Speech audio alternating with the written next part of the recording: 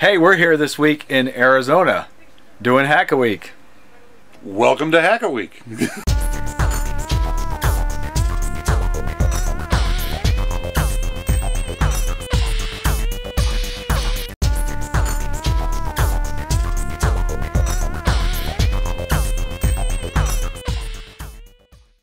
So we're here today with John Shook from uh, Hackers Bench.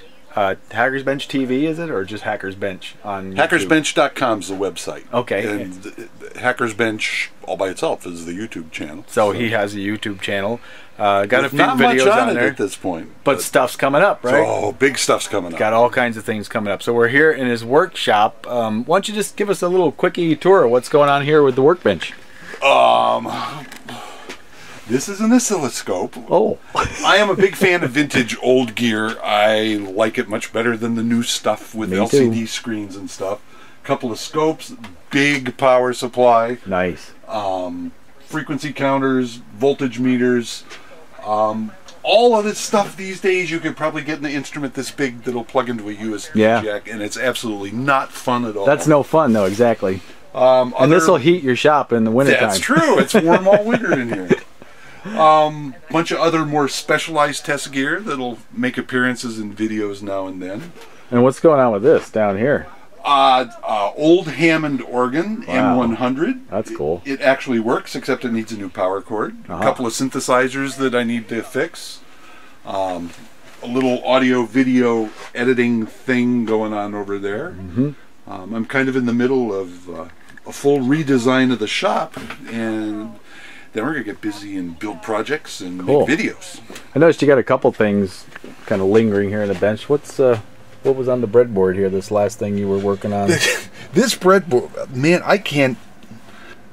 This is a number of different projects all happening at the same time. This um, down here was. I was probably helping Addy on how you drive a relay with a transistor because Oh, that's all that's here is a relay and a transistor. There's some power supply there. This is the Tautic uh, electronics rotation sensor, which is probably the last thing this was set up to do. You see the is that the open source hardware logo on there? Yeah. little gear thing. Yeah. Yep. I, I don't know if Jason's going to start selling his sensors and stuff again. I hope so. Um, that chip back there was a uh, LED display driver. Ah, okay. So basically, this was set up to evaluate that sensor board.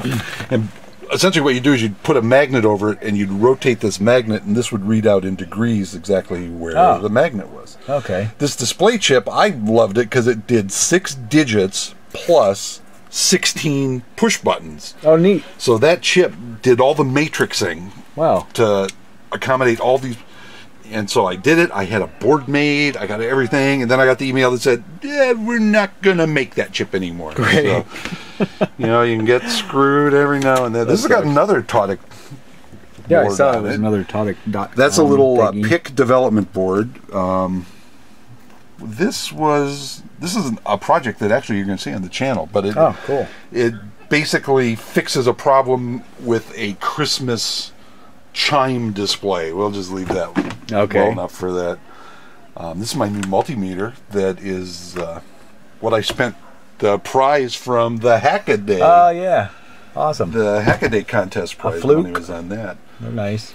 But you know, but that's And a just nice analog one. That's I was just going to point out that if you can, you want both of those. Exactly, because there's times when the analog one will tell you things that you can't see on a You digital readout. S- You can see trends Yes, and exactly. movements that you will never ever ever see. Now, I've got an older one that's got a little bar graph at the bottom. It's better than nothing, I have one of those too, but it only reacts so fast. and it's, still not, as really fast as that needle No, yeah, when you're needle looking is at really signal. nice. I've got a little old Radio Shack one kicking around somewhere. I pull out once in a while. Yep. So Well, that's, that's cool. basically it.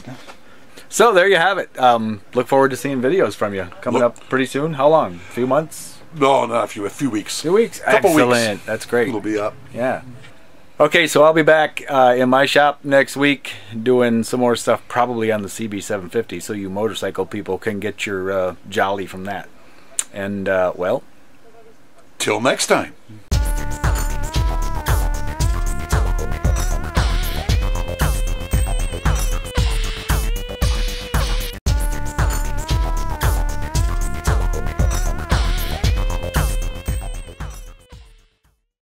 Uh, as I usually say, till next time. Do that again. Just outro it again. There's the blooper. What is it?